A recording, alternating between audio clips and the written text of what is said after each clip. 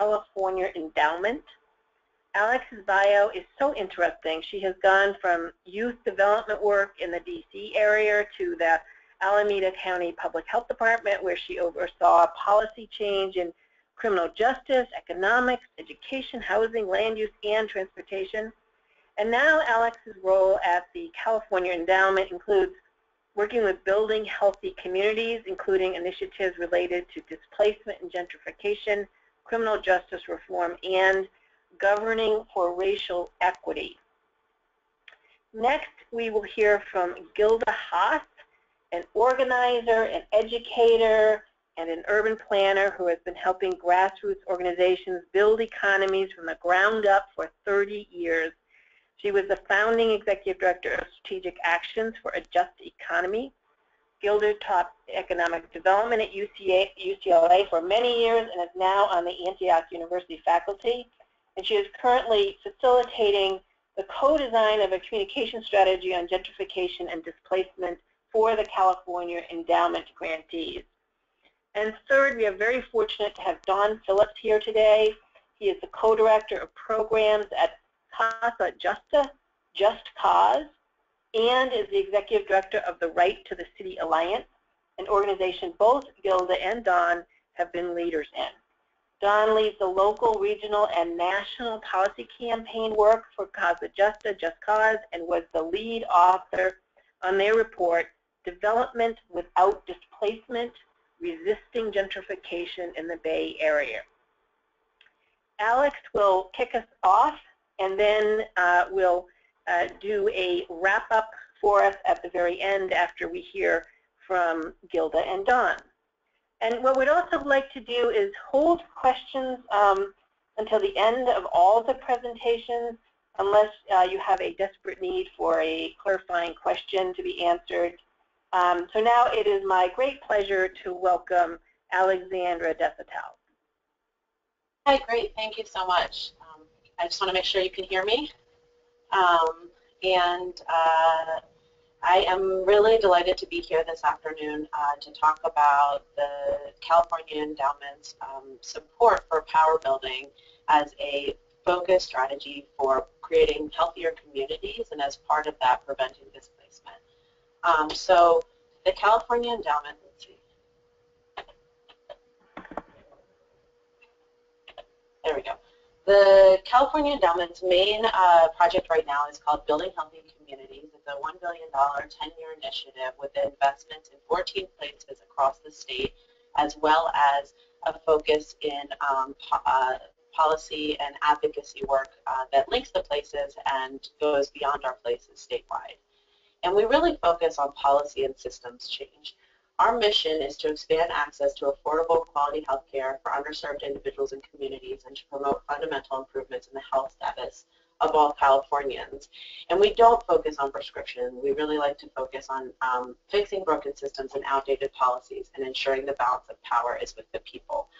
Um, so a lot of times we get questions of why place? Why are you focused on place? Um, so just as a very quick background for people who are not familiar with the impacts of place on health, where a person lives really is determining their access to safety, food, housing, jobs, all of those different factors that create um, the odds for health. And so we've found through research, and our, and our initiative is designed through this, um, that your zip code is more important than your genetic code. And that's really behind the focus on place here in the Building Healthy Communities initiative. Um, you know, the opportunities for health are very different when you're in a neighborhood like this versus like this, where there's bike paths and uh, access to uh, services and grocery stores, or where the businesses are unavailable, the infrastructure is crumbling, the schools are um, not there. Where your grocery stores look like this or like that. Where parks look like this or are next to environmental hazards or just generally uninviting and falling apart. So a lot of times when we talk about gentrification and displacement, people uh, think, well, you have place, you're a place-based initiative. It really must um, be a boon when there's new capital coming into a place for help.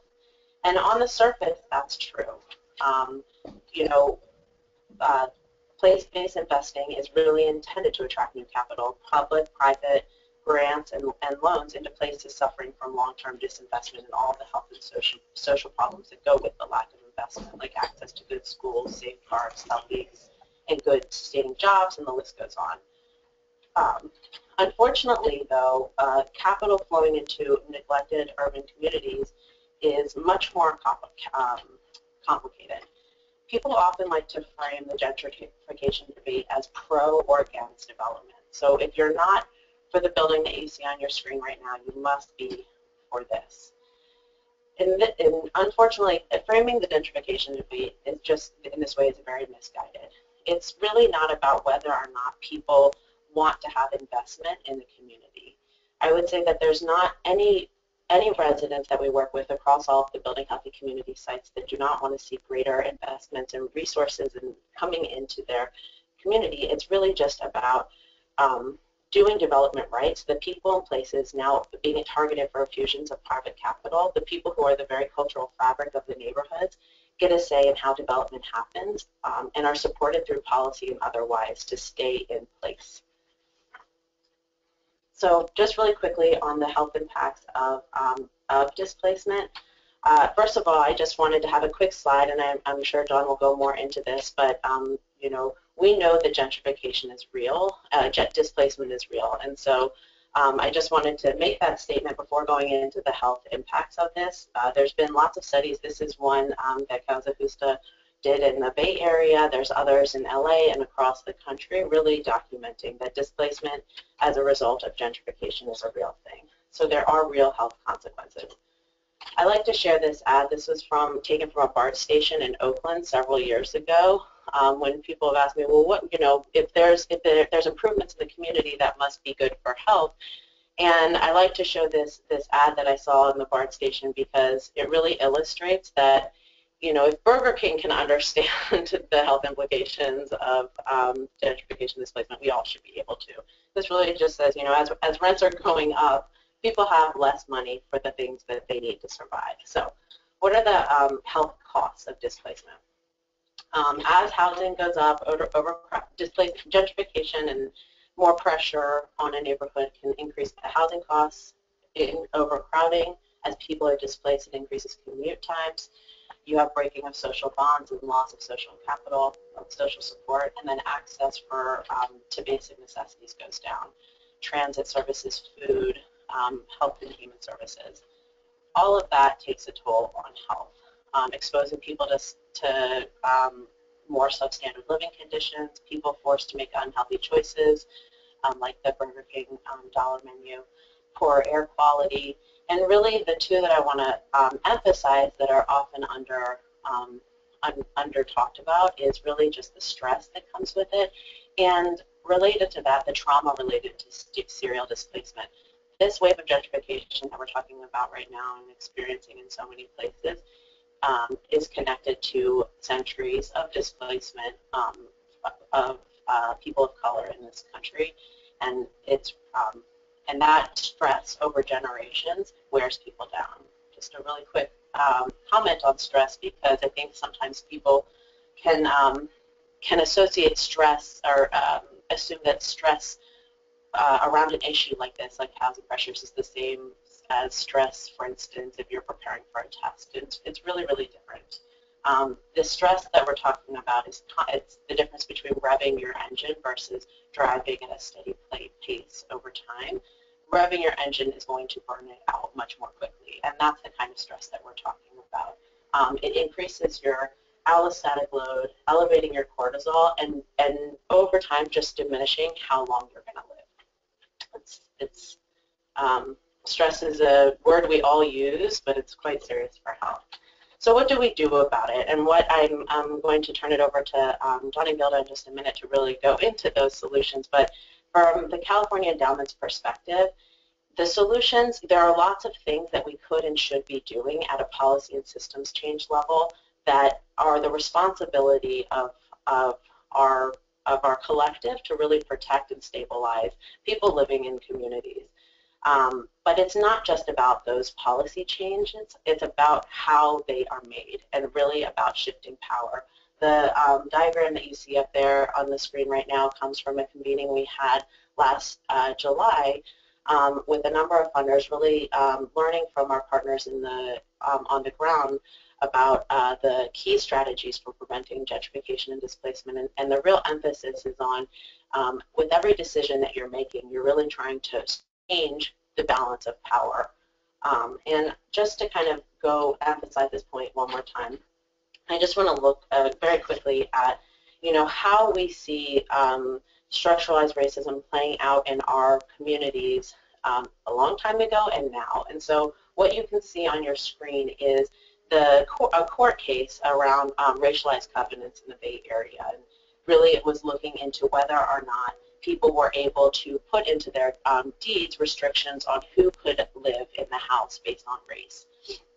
And as we all know, that along with uh, um, uh, racialized covenants, along with redlining, and this is a map of redlining in um, Oakland, uh, California, um, were both outlawed um, in uh, during the civil rights movement. And yet we know that the same types of um, outcomes that we that were seen um, back then when these practices were legal, we still see today. In fact, a recent report from the Greenlining Institute found that Black and Latino residents make up 56% of Oakland's total population, but receive just 10% of the total dollars lent by the major banks for home purchases.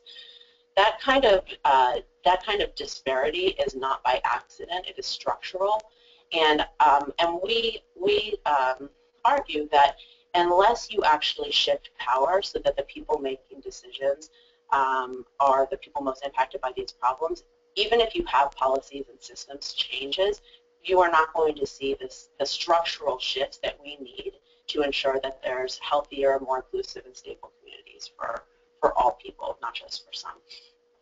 So with that, I have the extreme pleasure of um, turning it over to Gilda and then Dawn. I am lucky to work in this organization, the California Endowment, that um, supports their incredible work um, as leaders in, in California and across the nation.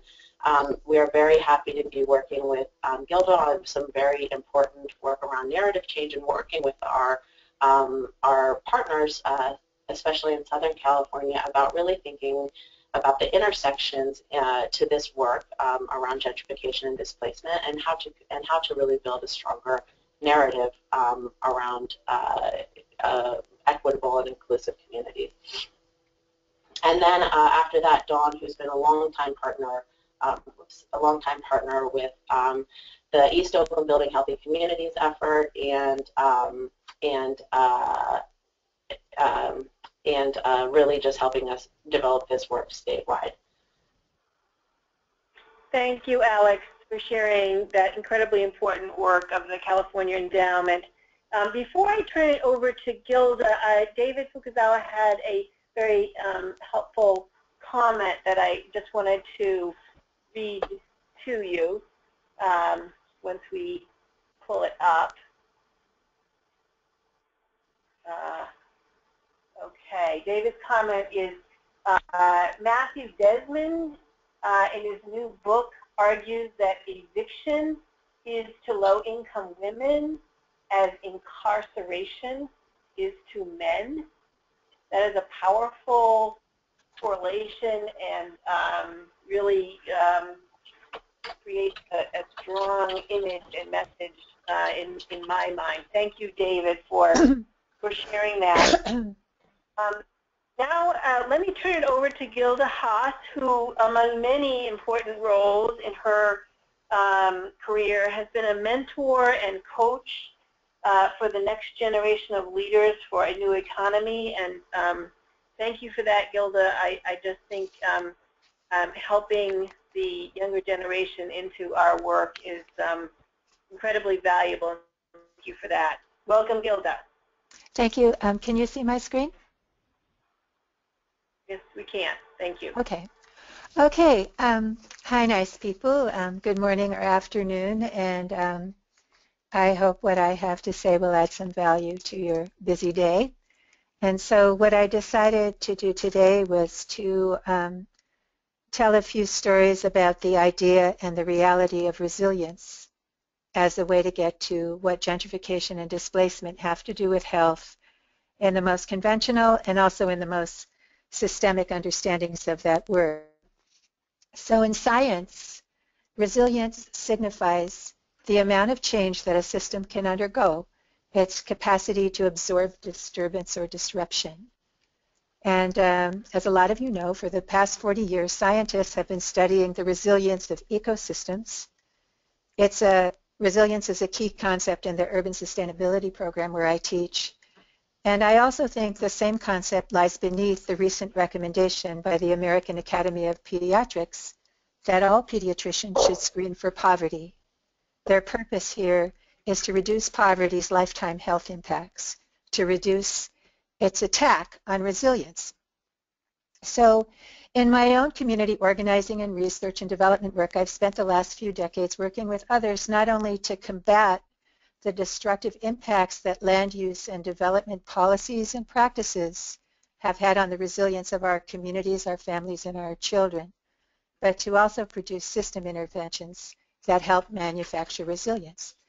So I'm going to start out by telling you a different kind of story about how we work to undermine the resilience of an intransigent large slumlord to protect the health of thousands of children and their families in LA. So here's the situation. Between 2002 and 2005, land use decisions and real estate investments caused property values and rents to skyrocket in an area where I used to work. This community was once considered part of South Central Los Angeles, but by this point it had been reclaimed and renamed by large property owners, developers, and public officials and became known as the Figueroa Corridor. And so while this might be counterintuitive, this spike in land values produced a slum housing epidemic in the community. Professional slumlords who we had been fighting for years, wanting to cash in on the boom, stopped making any repairs at all because why, why do anything when hopefully the building would sell for a really high price and probably get torn down at the end of the day. They began to harass tenants even more than usual and began initiating even more than usual illegal evictions because an empty building is worth a lot more on the speculative market. So we responded with tenant organizing and tenant rights education we work closely with legal services because 90% of even illegal evictions are effective if the tenant doesn't have legal representation because the landlords always do. We worked on policy campaigns to protect tenant rights and protect and improve whatever affordable housing we had left. But things were moving really fast, and we needed to be more strategic. We needed to have a bigger impact. And so we decided that it was important for us to help our city attorney recognize that big slumlords weren't incompetents. They weren't just incompetent landlords, that they were rather a form of organized crime that relied on networks of managers and money and legal constructs, and that to protect neighborhood health, we needed to understand those systems. We needed to intervene strategically, and we needed to help the city to take those criminals down. So we started doing research to identify the largest slumlords and found a couple that owned hundreds of buildings. One, whose name was McHugh, owned so many that we started to call his holdings McHughville because the tenant population approximated the size of a small town. So here's a map of another slumlord's family's holdings. Um, we teamed up with Valdis Krebs, who's a well-known social network analyst, to learn how to construct and map and analyze their network of relationships. And so the, if you could see the black line, um, that represents the financing of their slum system. Um, the yellow boxes are individual buildings that are legally held by numerous um, limited liability corporations, which are the blue boxes, and the purple boxes are, are human beings. They're people in, in, in this family and in, in their relationships. So so when we mapped it in the social network software, we looked for vulnerabilities and could see that this system wasn't resilient. It was in fact vulnerable because all of the financial relationships We're in a starburst formation, and I'm putting these pink dots in there so it's easy for you to see these centers of these starbursts. With a, bit so they all have a particular actor in the center, um, and the actor is, is generally the same person. So that was a clue. If we focused on that actor, a lot of pressure on that actor and took them out, the whole machine could fall apart. Um, so we supplied the city attorney with evidence and data, and please know that I'm leaving out a lot of the details, um, and so and so many other people who contributed. But the punchline was that by disrupting the system, due to its vulnerable design, we were able to win. So why am I telling you this story? Because our approach to analyzing networks isn't just about destruction. Most of the time, our work is about construction. That is what organizing is about. That is what community organizations and institutions are about. They are about building and protecting resilience. So if you were a family in the Figueroa corridor, you were likely connected to families and friends who could help you out from time to time to watch your kids, to celebrate your successes, to connect you to information. You were also likely connected to churches, um, to schools, and to community organizations like SAJE or Causa Justa. And so if you were a church or a community organization in the Figueroa Corridor, you were likely connected to the Figueroa Corridor Coalition. And our interconnected organizations work to strengthen the relationships that benefit community health. So poor tenants find a voice and common cause against slumlords through our tenant organizers at SAJE. And if they don't have one, they're connected to a medical home at St. John's, often through Esperanza's health promoters. And while it's true that together tenants, health promoters, organizers, and medical professionals might compile evidence that can be used in a criminal slumlord cases, more often than not, our collaboration produces positive relationships of mutual aid and support that makes the vulnerable less vulnerable, that makes the community stronger and healthier. So the fact that you have family and friends nearby, the fact that you have relationships with local institutions that have your best interests at heart, the fact that you have a medical home, the fact that you know your children's teachers and childcare workers, all of these things add to your resilience. So what do you think happens when those connections are severed, not once, but multiple times in a lifetime, in a decade, or even in a year? people lose those relationships. They lose their medical home. Their children might start at a new school, perhaps not for the first time this year. Moving is expensive, and it adds insult to injury to poor folks. It's hard to ever catch up, and that is when resiliency is undermined, and displacement becomes not just a product of poverty, but in fact a cause and then the associated health costs that so concern the American Academy of Pediatricians truly sets in. There are a lot of things that we can do to strengthen the health and resiliency of our communities, and it certainly helps to understand the root causes of displacement. It is not about hipsters or boutiques or bike lanes. It's about expulsion, and there are ways to prevent that. So here are some things that I think we need to address and that I think we can address. As the gentleman suggested before, we have to prevent evictions. In the introduction to his excellent book, Evicted, Poverty and Profit in the American City, sociologist Matthew Desmond writes this. Fewer and fewer families can afford a roof over their head.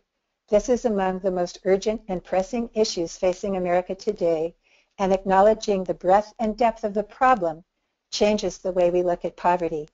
For decades, we focused mainly on jobs, public assistance, and mass incarceration. No one can possibly deny the importance of these issues, but something fundamental is missing.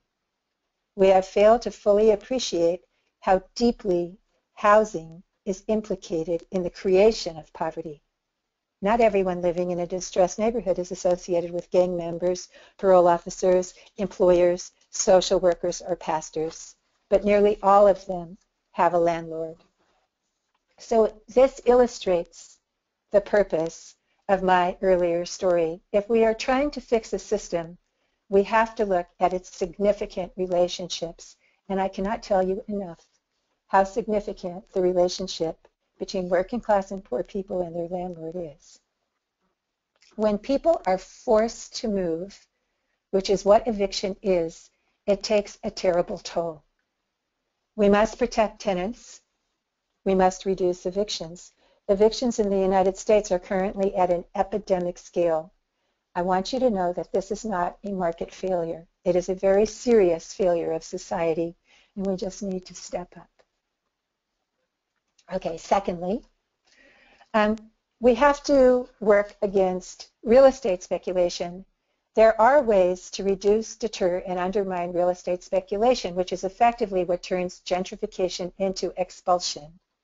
Increasing tenant rights and protections, requiring replacement housing for housing that is lost, regarding our city's housing research and plans, which are the basis for receiving federal money as actual indicators of need and following up on that, there are ways to do that.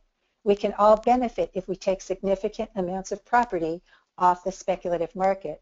Now, how we do that would, would probably require another webinar or two. But in the meantime, if you want to read a prescient story about Wall Street's new speculative adventures in rental housing, check out Right to the City's report, The Rise of the Corporate Landlord.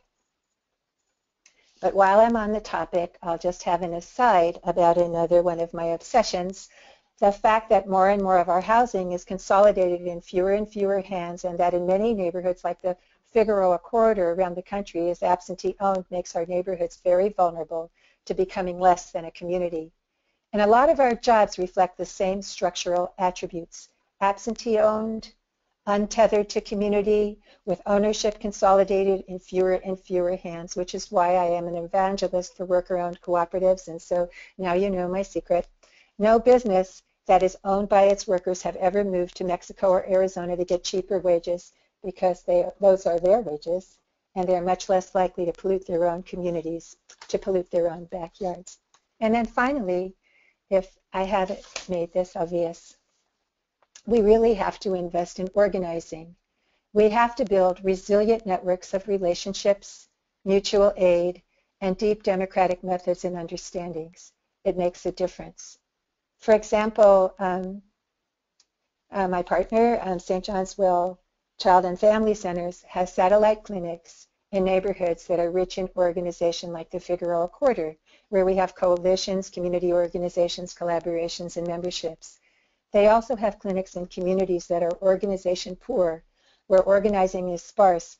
And their executive director, um, Jim Mangia, has told me that the difference in how much it takes to produce health in those contexts is tangible and measurable.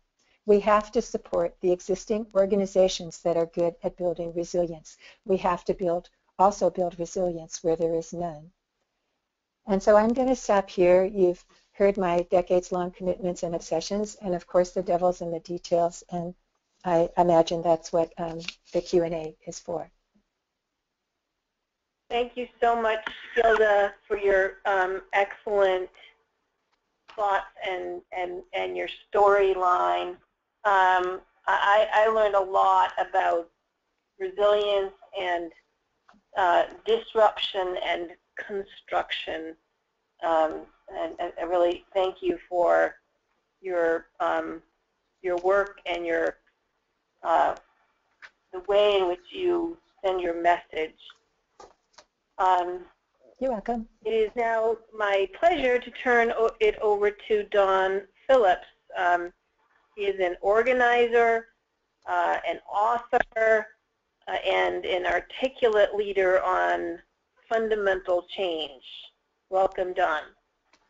Thank you, Nancy. Nancy, I'm having trouble seeing my slides. Is there something I should um, I should be doing?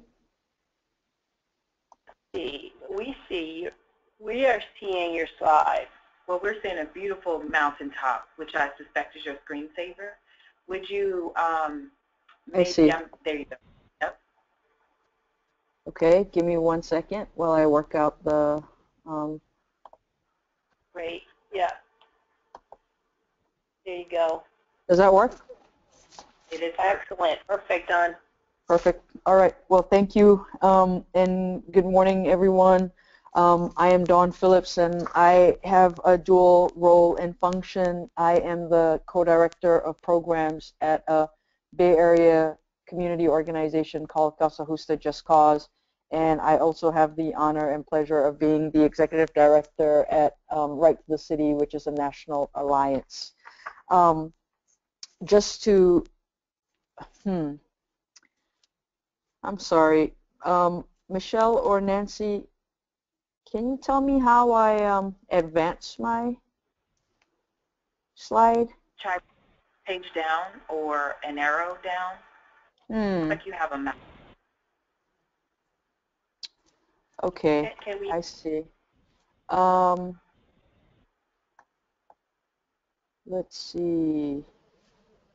John, I think you're presenting from your your your um, computer, so you just advance like you would on your computer. I know it's not allowing me to do so. Okay, hang on one second, everyone. I'm sorry. That's okay. For me, the space bar didn't work, but the arrow keys did. Yeah, you see the faint arrows down at the bottom. Yep. Um, it wasn't allowing me to use my arrows. Give me one second and um. Okay. Thank you. Spacebar worked for me, Alex. Um, so um, very briefly on the two organizations. So Causa Justa is a community-based membership organization in the Bay Area of California. Um, our work is focused on issues of gentrification, displacement, equitable development, housing and, housing and immigrant rights, and we are working primarily with Black and Latino communities.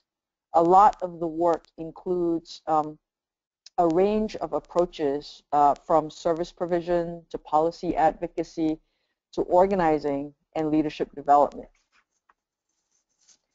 For Right to the City, um, we are a national alliance of over 50 member organizations in 33 cities, and we've come together to stop displacement of low-income communities of color as well as other vulnerable populations from historic urban neighborhoods on a national level. Three years ago, the Alliance helped found and anchor the National Homes for All campaign, which aims to build a tenants, housing, and land justice movement through linking, coordinating, and scaling up the work of local organizations. The campaign has three major tracks of work, tenant protections, equitable development, and expanding community land and housing trust. Um, we've also had some recent national successes in terms of supporting the work to increase the uh, National uh, Housing Trust, um, which we're very happy with. And there are currently about 60 groups from 30 cities involved in the Homes for All campaign, and I'll talk a little bit more about it in a second.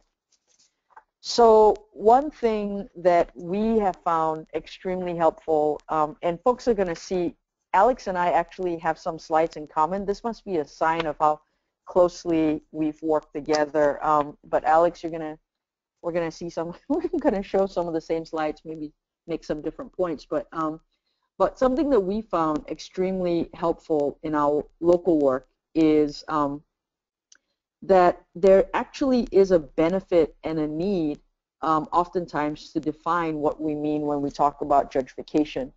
And the reason for this is that um, there's a, a, great deal of contention, um, especially around policymakers and to some extent even the media and other kind of stakeholders as to whether to, as to what it is and whether or not it's happening. So we have a, a definition which I'm not going to read in its entirety, but it's essentially a definition that centers on three points.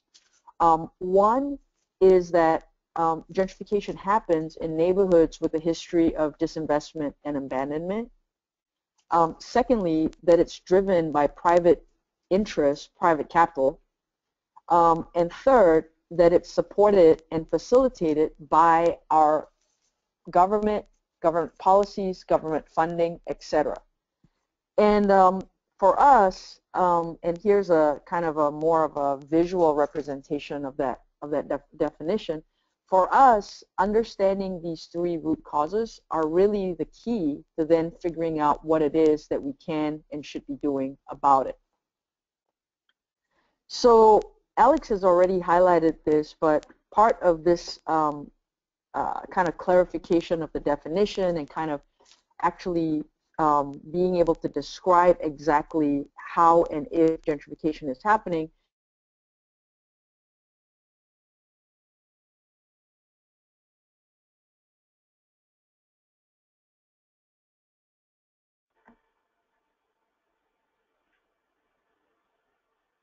based on uh, big data and housing. Yes. Yes, We just Nancy? you just cut out for a second there, Dawn, on what you on your audio. Okay, You're back. I'm back. Okay. So I was I was saying that we built on work that was uh, developed by Lisa K. Bates, an academic and organizer in Portland, um, but using demographic and housing market data, we basically were able to chart and map where neighborhoods are um, from early phase to ongoing and late phase gentrification. And this is the map that Alex showed um, that uh, in partnership with the Alameda County Public Health Department, Causa this is, appears in Causa Justa's report um, on gentrification. And you see uh, here the different stages that neighborhoods are at. And part of why this is so important is really the punchline that gentrification is not a process that just happens. It's a process built over decades, um, many, many decades, and it is uh, constructed and brought about by policies, funding, by, by uh, decisions of uh, policymakers and, and public agencies. And so in as much as gentrification has been created, um, there can be and must be something that has to be done about it, to Gilda's point. And Alex and I both love this slide. Um, and part of what it is that, you know, I think um, that, that we feel is that uh, there cannot be healthy communities while there is a situation in which folks are having to choose between housing quality and stability and health quality and stability, right? And so um, in as much as Burger King gets it, so must we, to Alex's point. So what is the approach? Um, and this, so, this is getting into some of the terrain that Gilda was starting to build out for us. Um, what is the approach to actually pushing back against gentrification and actually creating healthy, sustainable, resilient um, communities? Uh, for both Right to the City and Causa Justa, the answer really lies in housing in that we believe that housing is a central ingredient and a critical starting point to any other forms of healthy, sustainable, and resilient communities. Um, so there's a big um, uh, there's a big um, uh, development that we feel housing work has to respond to, which is that nationally we are becoming more and more a majority renter nation, right? So what this slide um, from the right to this uh, right to the city's renter, rise of the renter nation report is stating is that there are going to be 4.7 million new renters in the next decade. Half of them will be seniors, and the vast majority will be people of color. And so for us, if housing is a central feature of healthy, resilient, stable communities, um, then strategies and approaches that deal with tenants, tenant rights, tenant protections, and renter issues have to be then the core and the starting point of that strategy. There are, as many of you know, a range of issues facing low-income or working class tenants. Um, affordability is one of the central ones. Um, this is documenting the extreme unaffordable uh, uh, crisis, the crisis of unaffordability that we're, we're, we're, we're seeing nationally right now, um, with over 21 million households um, paying 30% of their income, uh, more than 30% of their income for rent, and over 11 million people paying over half of their income. Um, so affordability, for example, is a severe um, issue. Um, other issues include um, uh, health, uh, healthy conditions or unhealthy conditions. So we organize a lot here in the Bay around um, healthy housing issues, the fact that there is mold, lead, um, you know, lack of repairs and severe habitability issues that we're seeing in a lot of the, especially housing stock in many kind of core um, older urban cities. So these are, you know, these are some of the things. The the the current um, the current uh, um, the current thinking is that the way to solve the housing crisis is to actually try to attempt to produce more new housing. And what I have here is a slide that I think is, for us, very much an indicator of how that's not really um, the, the best approach or an approach that's going to get us to where we want to go. Because as you see, and this is, this is a slide about Bay Area numbers, but this is very similar and indicative to what's happening nationally, is that production is a very poor way for meeting housing need and housing demand, um, especially at lower levels of income. So the Bay, like many places around the country, um, has much more uh, production at higher levels of income of housing, but much less at lower. So for us, this is really an indication that the focus on tenant protections and, and, and, and tenant rights um, is, is really a strategy to actually provide housing stability um, and community stability for the vast majority of folks in the country. So building on what Gilda said, um, talk, four key strategies that we would say in terms of what needs to happen. So firstly, um, organizing impacted residents, and, and Gilda talked a lot about this, um, part of the work of Right to the City is that all the organizations in the Alliance are deeply engaged in impact in organizing impacted folks. Um, and, and for us, um, organizing folks to know their rights, to exercise their rights, to protect those rights, and to expand on those rights um, in their neighborhoods, in their communities, for their families, and for their for their neighbor neighborhoods are act, is actually a central uh, component of a sustainable and healthy community, right? So there is no way to um, get to health, healthy outcomes without organizing and organizing impacted folks. Secondly, there has to be clear strategies towards stabilizing impacted residents. Uh, so here I've described this described it as winning healthy and affordable housing for tenants in particular, but for everyone in the community. Um, an example of some of what is happening around this is that um, right to the city groups in Boston, for example, are, are pushing a, a, a, nationally recognized uh, campaign to pass Just Cause, um, both at the, at the city and at the state level. Um, here in Oakland, there is uh, work happening this year to strengthen um, rent stabilization.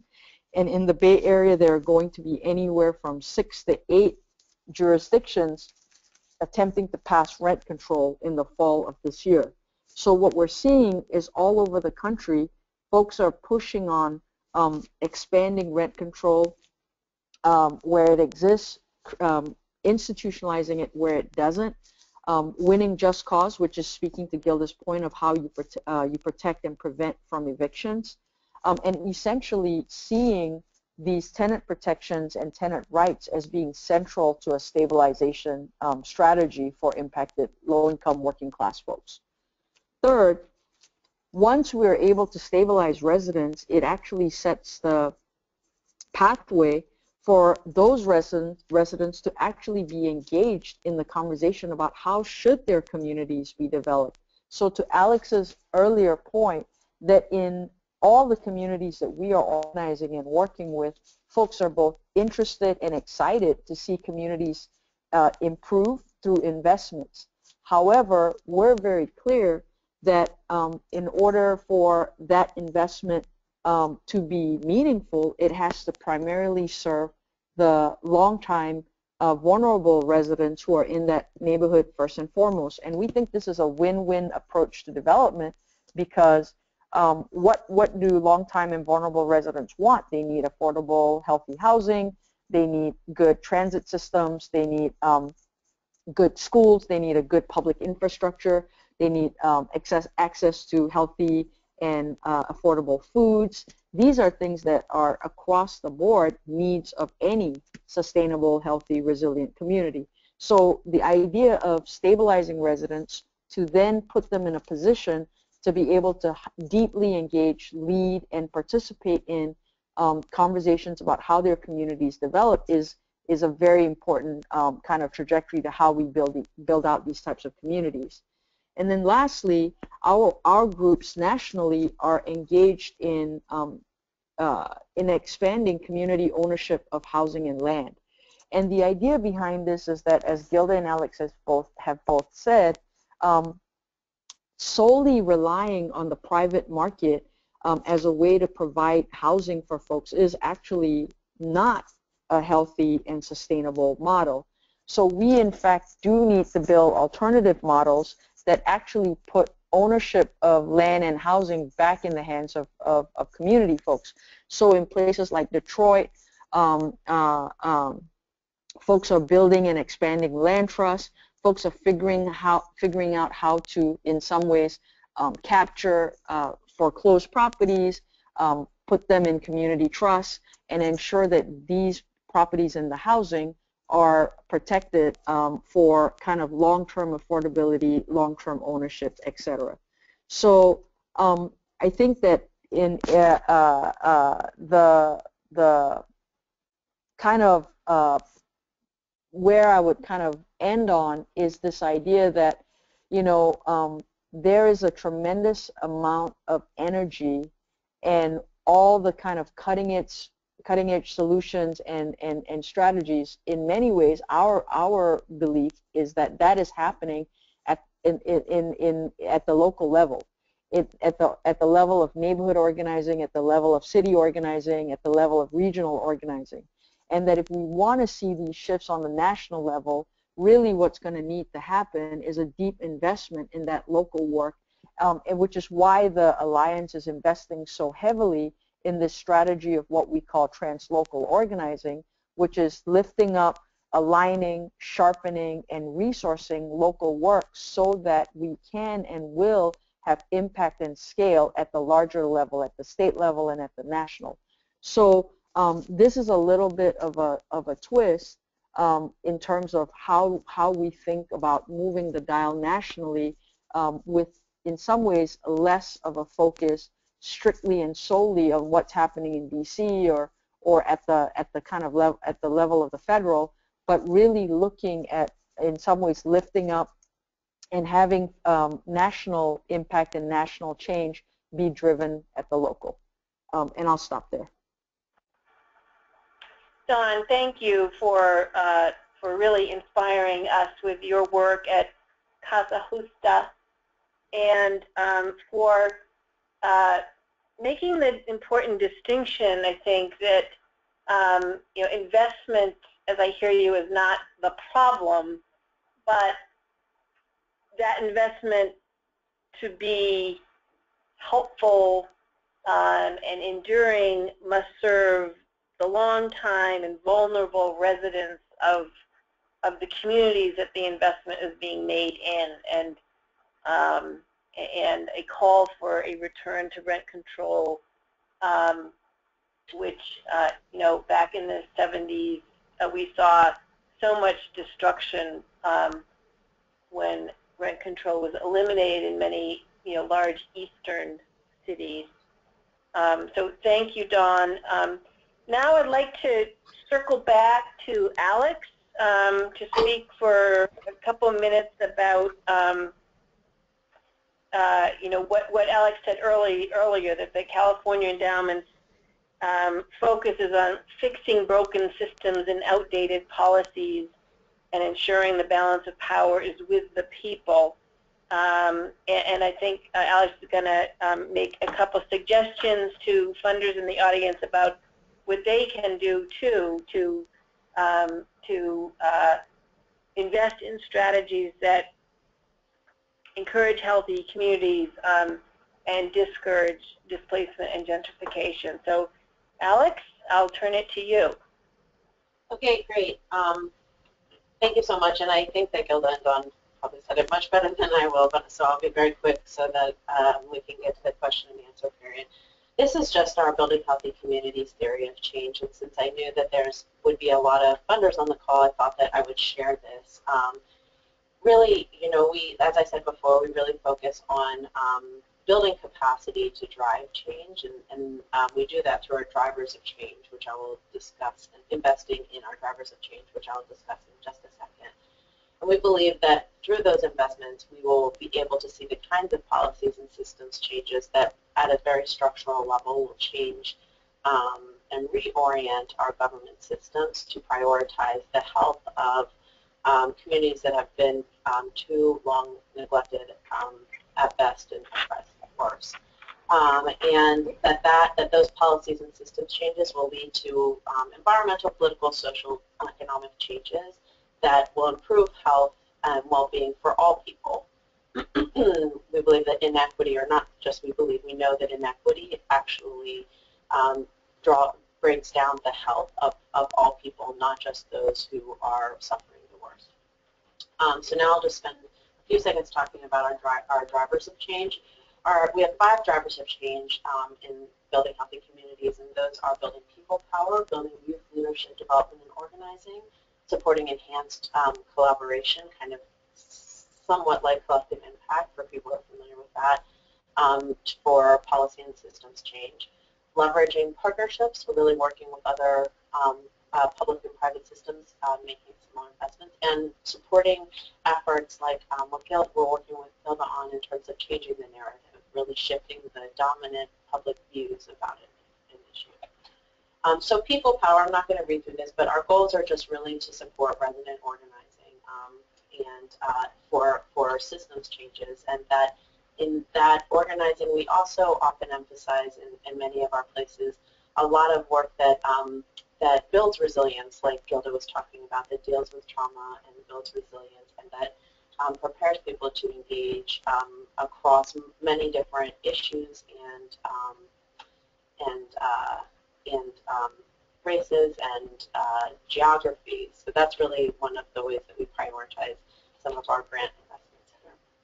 And then the same thing with youth leadership and organizing, um, recognizing that um, not only will you be the decision makers of the future, but that their um, ideas and energy are so critical to realizing the, the future that we all want to see. Um, so what can funders do? Um, this is a very long list, but I'll go through it quickly. Um, the first thing is I think that, you know, one of the big barriers I see when I talk to people about this issue is that often people say, oh, it's just too big, or neighborhood change is inevitable, or things like that. And, and I think that that mentality is, is a really huge barrier. This is just too big for us to take on. I don't think that it's, it's, it's a very, um, you know, it, putting ourselves in the, in um, the position of people impacted, we, we can't say that. We can't say, it's too big. It's not a matter of if it's happening or if it's too big um, or if it would happen anyways. It's how. How are we going to stop this and really build and support the organizations and people um, uh, making the changes that will create more inclusive, healthier, sustainable communities for everybody. Um, and so really, you know, kind of getting over that first barrier, so almost like a barrier, is really going into um, a lot of what Gilda and, and Dawn were talking about, which is really just funding the grassroots power building. The solutions that they're talking about are um, are brilliant because of how they arrived at them and uh, that the process and the engagement and the deep thinking that goes into this, it can't be um, skipped over and it can't happen without um, the kind of organizing that, that um, Gilda and Dawn described. And so this is really about, um, you know, trying to shift from from a, um, a more consistent focus on specific policies um, and the promotion of specific policies to really focusing on prioritizing long-term movement building across intersectional issues. The communities that we're talking about are, are impacted by lots of the different movements. Um, and so really just supporting that long-term deep um, improvement building work is, is critical. Um, and then I just want to highlight that, that you know, a lot of times um, it, it can be, especially when um, when funders don't necessarily have as uh, many or long-term relationships with grassroots um, groups, sometimes the solution is to uh, put the money in through intermediaries. And I just want to emphasize that from our experience, um, and you know, it, um, this is not to say that we've you know cracked the nut on all the solutions that um, are all kind of all the funder you know ideas that I'm, I'm putting here. California Endowment is still learning and growing in these areas too. But really, that just want to say that um, putting money through intermediaries, and intermediaries play a very important role, but that is not the same as directly funding grassroots power building, and that it's really important to um, directly invest in the organizational capacity and, and infrastructure um, to do this work over the long haul because um, it is not the, the work is not limited to one policy or another. It is it is um, it's very long generational work, and we need strong organizations that receive direct investment. Another part is really just taking back the narrative that um, it's not the pro, it's not pro or against development. It's development without displacement, and it's really just um, thinking about all of the different, you know, and, and go, go into this much more educated way than I can. But I, preparing for this, I was thinking about some of the conversations that I've had recently about, well, isn't it, you know, just um, we need we just need more housing overall, and and you know, I think that again, it's like the that um, maybe at a theoretical level would work, but in, in the actual work, in the actual um, world, when you don't have necessarily as much housing supply at all levels as would be needed to stabilize a community, you can't make an assumption that increased supply would lift all boats. Um, and so really challenging some of these dominant narratives um, and that the, the role of government is really to benefit, to ensure that the benefits accrued through some through the commodification of something as important as housing um, are balanced against the good of collective. You know, we have a very strong narrative around private property rights here in this country, and really um, we have to balance uh, that and, and the policy making that we do against um, the good of collective. And really, I think a lot of this comes down to who, who matters and who doesn't in our society and really just um, as uh, John Powell um, talks about a lot, broadening that circle of uh, human concern that um, is if we, like going back to my first point, it's not if we can take a stand against displacement, it's how. You know, um, making sure that we think about who is in that circle of human concern because the answers and, and the, that we seek will really be driven by, by who we think matters. And then finally, just you know, um, experimenting with, with um, using our power beyond grant dollars if there are ways to, like I said, change the narrative, which um, goes to just how we, we as um, funders speak about the issues, is a power beyond our grant dollar. Um, you know, using our influence on this issue is critical. So, and with that, I will stop. Thank you, Alex, um, and, and, thank you for the California Endowment's um, critically important investment in, in, in this work. Um, I, in a minute, I'm going to open up uh, to, to your sending in questions or comments. Um, we actually have a couple in the queue already. Um, but as, as you in the audience are framing your questions, I just want to thank the speakers again for uh, your terrific and thoughtful presentations. Alex, Gilda, and Dawn um, have all contributed a large amount of time to prepare for these presentations, um, talking with each other, um, and giving, uh, get, actually giving these impressive presentations. And so I, I want to thank each of them for donating their time and their, um, their smart and dedication to this uh, part of our series on gentrification. Um, so with that, um, we have uh, we have uh, a question from uh, David Fukuzawa um, from Kresge, which is a uh, incredibly valuable and important funder for the Funders Forum to happen. So thank you, David, for for your tremendous support. Um, um, his question, which came in before we heard um, a little bit from Dawn about um, about her uh, top four strategies. Um, so perhaps the speakers can expand upon that. Um, David's question is, what are effective strategies to mitigate displacement and expand social and economic opportunity and health at the same time? Um, and um, so uh, can, uh, do we have uh, any further thoughts from our three speakers on that question? And, and I'm Um, wondering a little Nancy, bit more maybe about the, go ahead, Dawn. No, you should finish. I'm just wondering a little bit more specifics perhaps on your Oakland ballot initiative. Yes. So um, a couple of things. Um, one, one way that I would answer it is there are multiple of our groups um, nationally who are approaching the kind of strategy question from a kind of a, a couple of different um, angles that I think all that I think are all equally important. So firstly, there is a great need to respond to the, the crisis as it's occurring immediately. And the crisis for uh, low-income folks looks like, as Gilda said, evictions.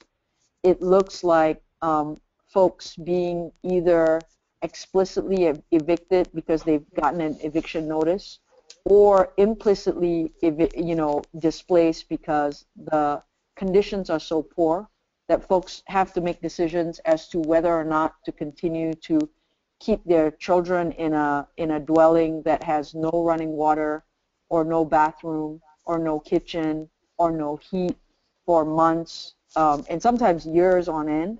Um, we work with folks uh, who are living in situations where the roof has caved in or there is wall-to-wall mold. Um, so, so there are a whole range of immediate emergency factors facing facing folks around their housing on the ground. There is a, tr a track of work that many of our groups do that is about that, right? That looks like um, uh, some form of direct service work.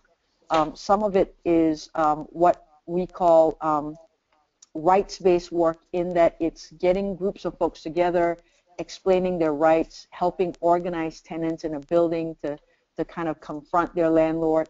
But there's a, a, a first piece of work is you have to actually help people deal with the crisis and the conditions that they're working with ser through services, through counseling, through exercising their rights, through um, confronting their landlords, right? That's one. Secondly, there's the policy work, which, you know, that's what the fights around rent control, that's what the fights around eviction protections look like. And the policy work happens, is happening in two ways right now. In, in one way, um, there is a wave uh, nationally of folks attempting to pass um, legislation at the ballot.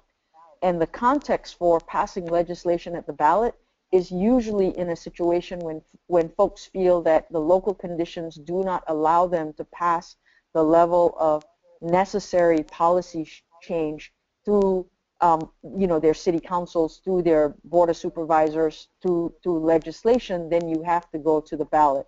Then the other method is to attempt to pass it through, through, through legislation. And those are really, really critical because then that begins to produce protections and a shift for many people, right? In the in the thousands and in the ten thousands and in the hundreds of thousands and in the millions to some extent, depending on how large your municipality is. And then the the third piece is um, um, it's really critical to begin to build alternatives, right? Which is which Gilda talked about, which is how do we actually begin to re-envision what housing looks like. So so so to David's question, I would say um, there has to be a clear understanding that there has to be both investment and work that is moving and, and you need all three components to actually be able to, to, to produce the results that you're looking for. Thank you. Thank you, Dawn. Um, uh, another question uh, came in from Meredith Ash. Uh, with ChangeLab Solutions. Um, and um, her question, I think, builds on David's, um, uh, and it is addressed to Dawn. Can Dawn address strategies for overcoming state-level preemption of strong local rent control laws via vacancy decontrol laws? How can we organize tenants statewide? Yeah, and, and Gilda can probably weigh in on some of this. So, I, I mean, you know, there's no simple answer. Um, I think if there's one, pun one punchline is to all these questions, it's organize, organize, organize. So we are, you know, we're attempting to build from the local to the national, and the state is definitely a key um, piece, key side of that struggle. Um, we, there have been multiple efforts to um, change the state level pre, uh, pre, uh, preemptions, which in particular in places like California are very, very, um, uh, uh are huge barriers to actually strengthening eviction control, uh, rent control, etc. at the local level. So, you know, I, I, I could talk for a long time about it, but I won't. I just have, I'll just say that we have to support local organizing because on the foundation of local organizing comes strong regional organizing. Mm-hmm. And from the foundation of strong regional organizing comes strong state level organizing. And from the that basis comes uh, national change.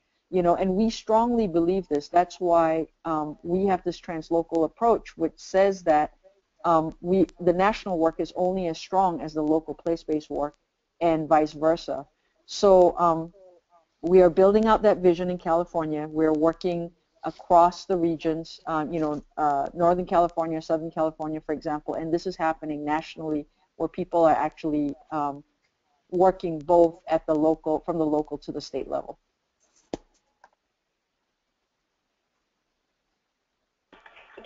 Thank you, Dawn. Um, Gilda, uh, did you want to, to add to that?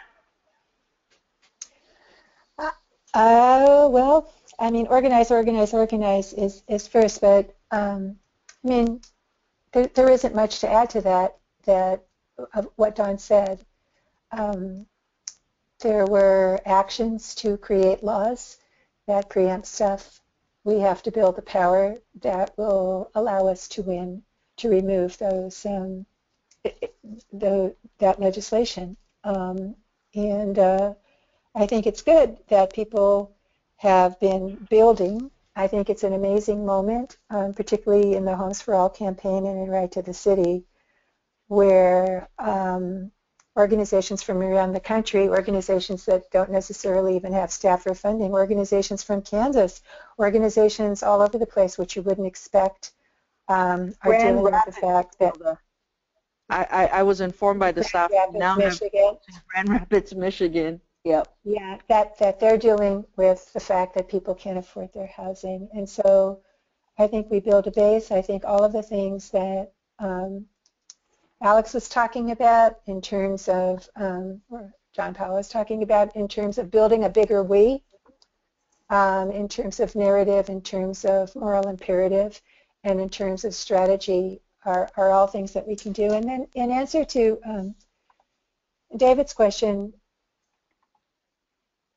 I think we have a lot of work to do in terms of, um, and I think there's a lot of benefit from changing the terms of engagement between owners and renters. Um, I told you a story about criminal slumlords. I don't, you know, they're a minority. They just happen to own thousands of units in Los Angeles taking advantage of the housing crisis. But most landlords aren't criminals. Um, but if we change the relationship between landlord and owner by um, mediating um, that relationship to protect the resilience of, of the majority renter population, then we will also be changing who goes into this business. It will be people who are happy with modest profits. There are people who are happy and proud of delivering a good product to people um, and I also think that we can also take a much more strenuous, rigorous look at our land use policies and be careful how we assume, as, as people have mentioned, that um, more is better. If, if more isn't serving um, anyone in particular, it's not better. And then finally, um, we really have to get out of the belief and the habit of privatizing public stuff. Once we let it go, it's really, really hard to get it back. It's, you know, the, the Figueroa Corridor wasn't always 90% absentee owned, and that's really a problem. It's really a problem across the country. Uh, thank you, Gilda. Um, I, I, want to um, ask the three speakers um, to provide a closing comment, if you would. Um, but while you're while you're thinking about what last message you would like to leave with the participants on the webinar, um, we have a question from Dr. Pamela Shaheen asking um, where uh, people can obtain a copy of The Rise of the Corporate Landlord. Okay, that's easy on the Right to the City um, website, righttothecity.org. The, the righttothecity.org. Mm -hmm. Thank you, Gilda. Um, so uh, could, could, could we start with you, Alex? Um, just uh, a final comment uh, that you'd like to leave with the audience? Yeah, sure. I would just say um, thank you to um, you for hosting this webinar on this really urgent issue and to everyone who tuned in. We really appreciate um, your sharing your afternoon with us and I hope that you found some of it, um, what I shared useful. And also to Gilda and Dawn, and um, Dawn in particular, you've taught me so much, and it is funny that we did have similar thought pattern in, in our uh, in our presentation. So I just I really appreciate all of the collaboration that we've had over the years. Um, and I guess I would just say that you know I'm you know a lot of what we presented in particular what the funders can do is still stuff that I'm learning and thinking about, and we are internally at the California Endowment, and so I invite others who are having similar um, thoughts and conversations and struggles about how to how to support um, this important um, uh, organizing work around gentrification and displacement, um, to please reach out to me. I'm, I'm, I'm always looking for other people to think this through with. And um, also that we are working right now, we have an effort going um, through the Neighborhood Funders Group to bring together different uh, uh, uh, California and national funders who are funding in California to really think about uh, aligned strategies um, for supporting um, work around organizing uh, against gentrification and displacement and, and, how we can kind of think about this from an intersectional perspective with other issues and, and, greater movement building. So anything, anybody who's interested in learning more about that or just kind of, you know, processing and thinking through um, how to be good funders, part, funding partners, um, I'm, I'm always happy to talk. so thank you. Thanks so much, Alex. Um, uh, Gilda, a closing thought to share with the audience. Well, I just wanted to um, say how much I appreciated Alex and Dawn's um, presentations. Um, particularly um, appreciate, um, well, I've worked with Dawn for a long time, but Alex's um, assertion that the question isn't, you know, if gentrification and displacement are things that we need to deal with, but our question is how to do that. And once we um, get over that hump and focus on that together, I think our collective creative capacity will come up with many alternatives that um, are grounded in building resilience and protecting people from unnecessary suffering. It's amazing how many people cannot afford their housing, how important that is to the stability of their lives, of their family lives in our communities. And um, we have to undo any tendency that there's something normal about that. And thank you very much for taking the time out of your day, all of you. Thank you, Gilda. Um, Dawn, uh, closing thoughts from you. Sure. Um, try to keep it quick. Um, echo the thanks, uh, Nancy, to you and your staff. And then um, it's always um, a great pleasure for me to get to work beside Alex and Gilda. Um, I think the thing that I want to just leave folks with is how much tremendous opportunity there is right now. Um, you know, some of us have been doing housing work for a while now, and I think both Nancy and Gilda alluded to the historic nature of the moment that we are in um, around housing um, and what the potential to move the equity dial, the health dial, to build resilience long term if we actually seriously, seriously, um, from the local to the national, take up this question of housing and what housing is doing or not doing in particular in low-income communities and communities of color and other vulnerable communities. Um, the good news for, for anyone who's a funder on the call, there's actually very little funding um, in this in this area right now. The field is almost entirely wide open. Is the good news. Um, is is one of the few ways that this work is being funded, and it re that really only occurs um, mostly in California.